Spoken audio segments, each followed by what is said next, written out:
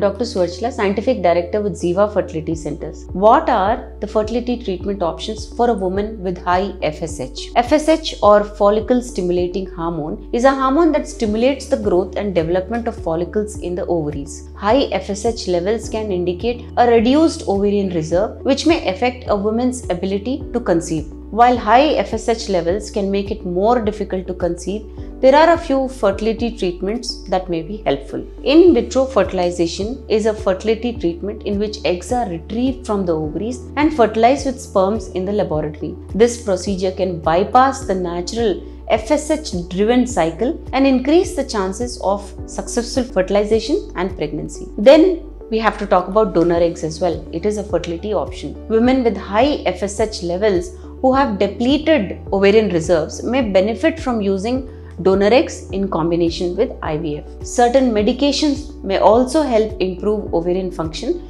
and reduce FSH levels in some cases. However, the success rates of these medications may vary widely and they may not work for everyone. Consultation with a fertility specialist, especially women with high FSH, may benefit because a fertility specialist will discuss your options and develop a personalized treatment plan. You have to understand that every woman's situation is unique and what works for one person may not work for another. If you have high FSH levels and are trying to conceive, it's best to consult with a fertility specialist to determine the best course of treatment for your individual needs.